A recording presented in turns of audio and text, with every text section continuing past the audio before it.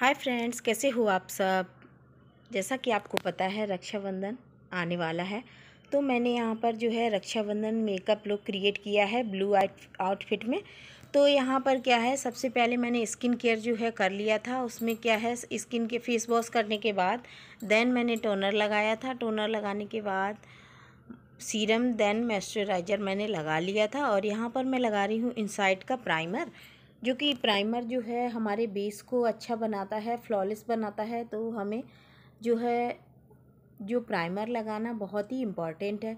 तो हम यहाँ पर जो है लगा लेंगे प्राइमर तो प्राइमर के एक डेढ़ मिनट बाद, दो मिनट बाद ही आप जो है फाउंडेशन लगाइएगा। तो यहाँ पर जो है मैंने थोड़ा सा रेस्ट ले लिया था प्राइमर के बाद।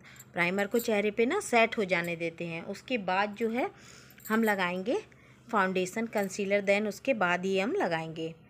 तो यहाँ पर मैं दो मिनट के बाद मैंने लगा लिया है फिटमी का फाउंडेशन ये मेरा one two eight shade number है, बहुत ही स्किन के अकॉर्डिंग ये बहुत ही अच्छा है। और यहाँ पर मैं मेवलिन का लगा रही हूँ कंसीलर और कंसीलर जो है आँख पर बड़े अच्छे से लगा लेंगे। और यहाँ पर जो है मैंने आज आई मेकअप हैवी नहीं किया है, मैंने जो है हल्का सा ब्लू काजल लगाया हुआ है। ब्लू आउटफिट है मेरा तो मैंने यहाँ पर ब्लू काजल काजल जो है लगाया है। तो आज जो है हैवी आई मेकअप हम नहीं करेंगे। और यहाँ पर आप देख रहे होंगे ग्रीन चूड़ियाँ। तो सावन चल रहे हैं तो हमारे यहाँ ग्रीन चूड़ियाँ बहुत ही शुभ होती हैं सावन पर पहनना।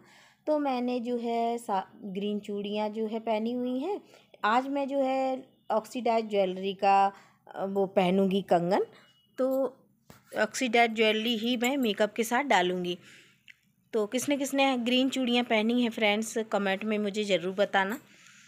शुभ होता है पहनना तो आप सबको भी पहनना चाहिए। तो यहाँ पर मैंने लगा लिया था फाउंडेशन कंसीलर के बाद मैंने लगा लिया था compact Lakme nine two five Lakme absolute का मेरा कॉम्पैक्ट था। तो ये भी बहुत ही अच्छा कवरेज देता है। देन उसके बाद हम हल्का सा कंटोर कर रहे हैं। मेरा जो है आ, क्या बोलते पाउडर कंटोरिंग है तो मैं यहाँ पर हल्के से अच्छे से थोड़ी थोड़ी करे ले रही हूँ और उसके बाद जो है देन हम लगाएँगे ब्लू काजल। तो ब्लू काजल मेरा आउटफिट ब्लू है तो मैंने ब्लू काजल ही लगाया है।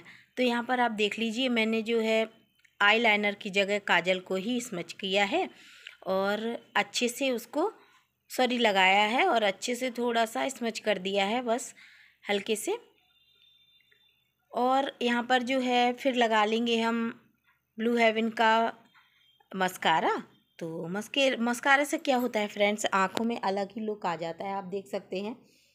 इस आँख को और इस आँख को आप कंपेयर करिएगा तो बहुत ही अच्छा लुक आता है। तो यहाँ पर मेरा मस्कारा भी हो गया कंप्लीट देन उसके बाद हम क्या करेंगे? हाँ यहाँ पर मैंने क्या किया था? ये मैंने लगाया था ग्लेटर आई आई लाइनर ये ग्लिटर आई लाइनर मेरे पास ब्लू पड़ा हुआ था तो मैंने सोचा इस आउटफिट के साथ लगाया जाए। लेकिन बाद में फ्रेंड्स, ये मेरा हो गया था गड़बड़ तो मैंने इसको पूरा ही रिमूव कर दिया था, देन दूसरी बार मैंने काजल वगैरह लगाया था। तो ये थोड़ा सा गड़बड़ हो गया था। तो ये मैंने रिमूव कर दिया था, उसके बाद जो है, देन मैंने काजल ही ब्लू लगा लिया था। तो यहाँ पर क्या है ये आई में आई में मैंने काजल वगैरह लगा लिया है सब। उसके बाद जो है मैं करूँगी हाँ हल्का सा लगा लेंगे ब्लस, ब्लू हेवन का। तो ब्लू हेवन का मेरा ब्लस है तो ब्लस लगाने के बाद फिर हम लगा लेंगे हाइलाइटर। और हाइलाइटर आप देख सकते हैं, बहुत ही अच्छा पिगमेंटेड हाइलाइटर है। तो पिग, हाइलाइटर के बाद हम क्या करेंगे? हाइलाइटर हो गया, देन उसके बाद हम अपना और जो है सब कैरी कर लेंगे। बिंदी वगैरह मैंने, बिंदी जो है बहुत ही छोटी सी लगाई हुई है। हाँ और ये है मिनी स्टिक कुर्की की मिनी लिपस्टिक है।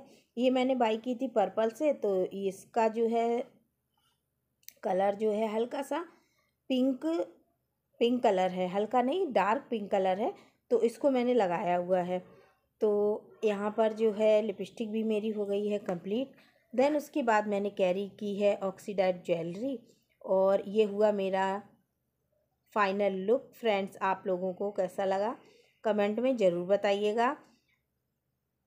और वीडियो पसंद आए फ्रेंड्स तो लाइक, शेयर एंड सब्सक्राइब ज़रूर कर दीजिएगा। Okay, bye bye.